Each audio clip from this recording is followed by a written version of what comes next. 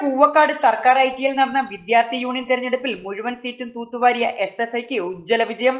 I T സ്ഥാപിതമായ ശേഷമുള്ള ആദ്യ തെരഞ്ഞെടുപ്പിൽ നേർക്കുനേർ ഏറ്റുമുട്ടിയത് S F I A I S F സംഘടനകളാണ്. സംഘർഷ സാധ്യത മുന്നിൽ കണ്ട് കുളുത്തുപ്പുഴ അഞ്ചൽ തെന്മല കടക്കൽ പോലീസ് സ്റ്റേഷനുകളിൽ നിന്നുമുള്ള വലിയ പോലീസ് സംഘത്തിന്റെ കാവലിലാണ് തെരഞ്ഞെടുപ്പ് നടന്നത്.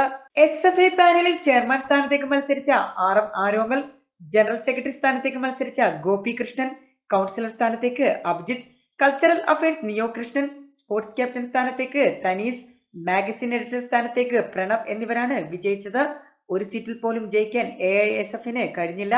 വിജയിച്ച എസ് എഫ് ഐ പ്രവർത്തകർ ആഹ്ലാദ പ്രകടനം നടത്തി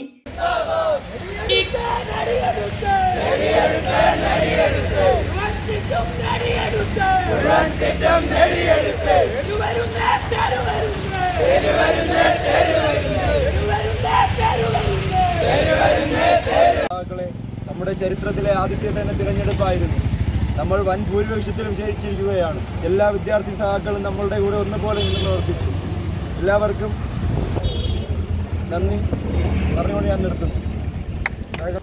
ഏറെ പ്രതിസന്ധി നിറഞ്ഞൊരു സാഹചര്യത്തിലാണ് നമ്മൾ ഈ നൂറുമീനി വിജയം നമുക്ക് ഗവൺമെന്റ് ഐ ടിയിൽ നേടിയെടുക്കാൻ സാധിക്കും.